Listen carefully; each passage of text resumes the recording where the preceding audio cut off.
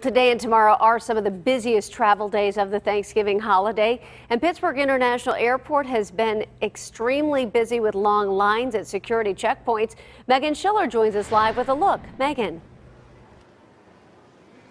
There is a lull around lunchtime, but earlier this morning, we were told that the line stretched all the way out the door.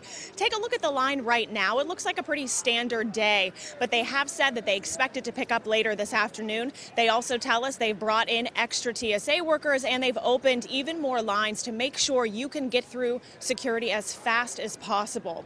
Officials here at the airport believe we will see another big rush this afternoon around 3:30 for everyone with evening flights. They expect to see see at least 4,000 more travelers today than any normal Tuesday, and tomorrow is set to be the biggest day so far. Now, I talked with many travelers who said they are leaving today to try to avoid tomorrow's craziness.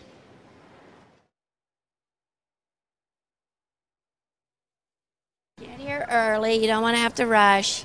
Get to your gate sit down with a good book and read? At least two hours. Uh, an hour to get everything packed in the car, and then at least two and a half hours to get everything to, to our gate. They're advising people to arrive two hours, a full two hours before their flight, particularly if they're flying out in the morning. So, um, morning time, our busiest time between 5 and 7 a.m.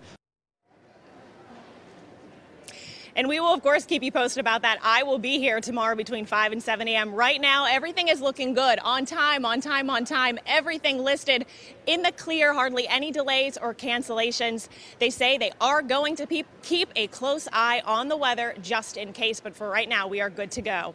Reporting live at Pittsburgh International Airport, Megan Schiller, KDKA TV News.